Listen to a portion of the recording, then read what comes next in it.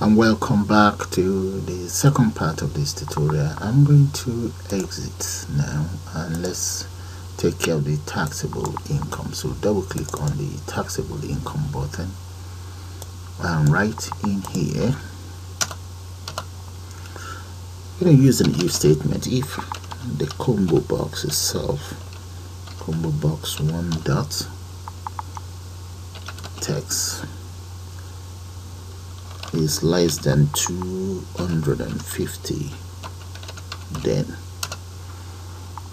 I want the taxable well tax pay LBL tax paid. So paid. Dot caption. I want that to be equal zero. So let's say that there and get rid of that.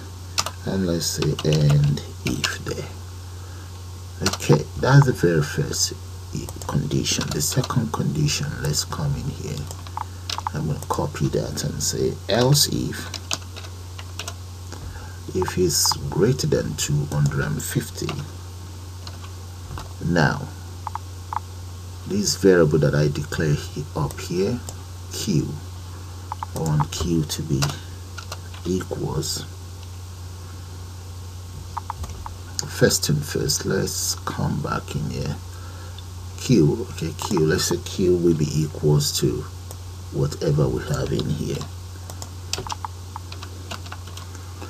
And q itself equals q multiply by 20 divide by 100 and the tax paid this very one that off and paste it right underneath here equals q. Right. That is the second condition. And the third condition is going to be according to what my viewer out there wants.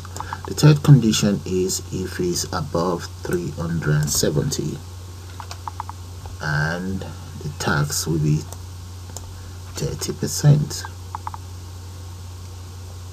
and the fourth condition is if it's above 450 and the tax will be 35 there we go.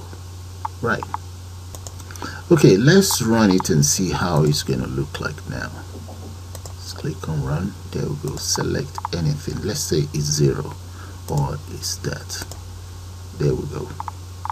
And 450 and let's come here. There. All right. That's fine. So let's reset exit and let's go back in here.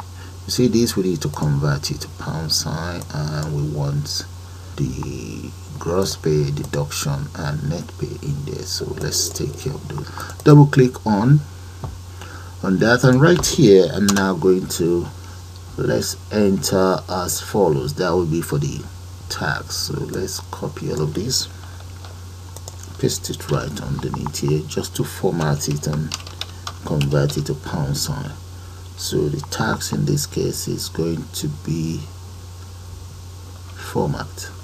Whatever I have in there dot caption let's say comma the first one is speech mark pound sign. Then we enter an hash dot. We want it to be two decimal place. No that's not a dot. That should be comma hash hash 0 dot two decimal place and that is that taken care of. If I run it now and select whatever in there there we go. Okay? It's now in pound sign now let's take care of these ones here. Double click on that. And right underneath here the gross pay that's going to be LBL gross gross pay dot caption equals and I'm just gonna format the lot. Copy that paste that in here and that will be whatever I have in here. That will be my gross pay. There that's taken care of and now let's look for that of deduction. Let's see LBL deduction. Copy that. Deduction and net pay just copy both. Now come right down here. Paste those two. In the case of deduction that is going to just be Q. Right okay let's just enter Q right there. That'll be the deduction. Why the net pay? Whatever I have on the net pay. Net pay is going to be deduction. This very one.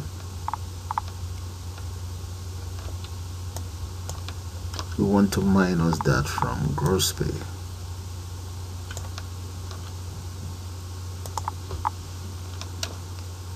There okay. Now let's convert net pay itself. Let's convert that to pound sign.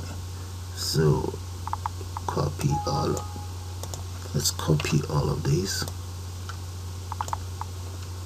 Paste it right there. And that will be whatever we have inside net pay. Paste that here. Okay all right so let's try this out and see how it's gonna work. So have a good look at the lines of code up here up to here. So let's run it and select whatever pay taxable income. So there we go it's working fine. So if you add this and this together that will give us the gross pay. Okay reset try it again there that's fine. Exit yes. Oh by the way let's save this. Come to file and save as. I'm to save it straight into my taxable income folder. Make sure you select macro enable and it's going to be taxable income underscore YouTube. Right there we go. And just click on save but make sure the file type is Excel macro enable workbook. Click on save. That is it. Saved now. Now the next thing I'd like to do is all the data in here right here I want them I want them to be to be displayed on on my spreadsheets right here I want all of those information here on sheet number one. This is sheet number one. Okay so I'm going to enter the following here. So this one will be reference. Reference number. There. Okay that's the very first one. And the next one is employee. Employer name we have employer name here. And followed by employee. Employee name. And I'm just gonna speed that up and get back to you guys shortly. Okay the titles are now or the headings are now in place. So let's go back in here. Right so let's double click on taxable income. So right here I'm going to declare as follows. So well, first of all let's declare that up right up there. And let's say dim. Worksheet as work. That will be worksheet. There. And the next one is let me say dim admin. Let's make that uppercase as range there so those two or the variables are added. Now I will now go back in here. Double click on that. And right underneath here. So let me just add a line so that I know where that starts from. I'm going to set worksheet my variable that is right up there equals sheet 1 okay?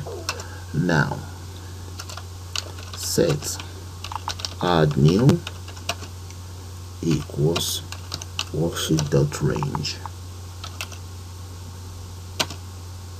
And the range is going to start from a uh, 65,356 close that dot end.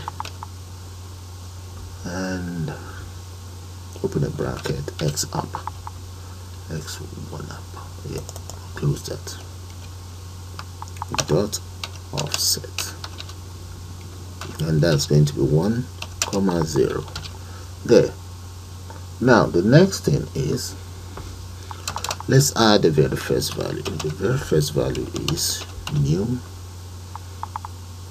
dot offset. And that is going to be 0 comma 0 dot value.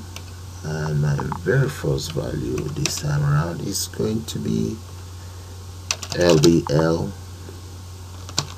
pay reference dot caption. There we go so that is, that's the very first one. I'm just gonna copy this and use it for the others. And the next one is going to be employee. No txt txt employer. Employer's name.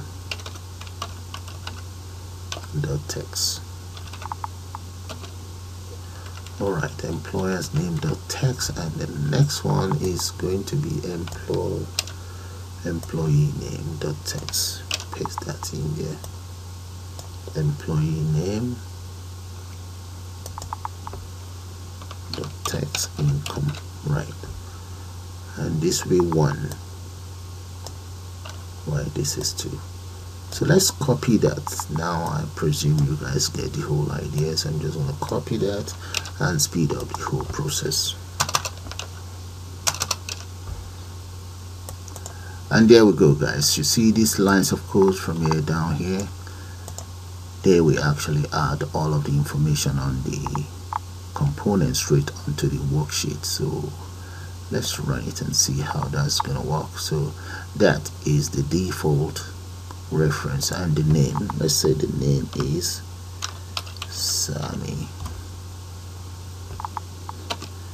That's the company name Sami and Co something like that. And here let's Felix. Felix Moore. And in here the wages of Felix uh, Moore Felix Moore there and here. Tax period this is uh, zero three. Tax code. And I number. And NI code. Let's click on taxable. There we go guys. Look at that. So if we go to the spreadsheet now so let's just move this aside so that you guys can see the spreadsheet. And if I click on this all of those information that I have in here just like you guys have seen now will be added. Okay look at that. So let's change this to someone else. Let's say that is Henry. Henry Kings right and change this okay let's change his details here as well. And the NI number. There we go. So if I click on taxable income that is tax, tax taxable income of Henry okay guys? And that is how you program how to calculate taxable income or that's how you take care of your taxable income using Excel VBA so with that guys i'm going to call it the end of this tutorial. I suppose you guys enjoyed and you my friend out there i suppose i've managed to answer your question. Thank you and bye for now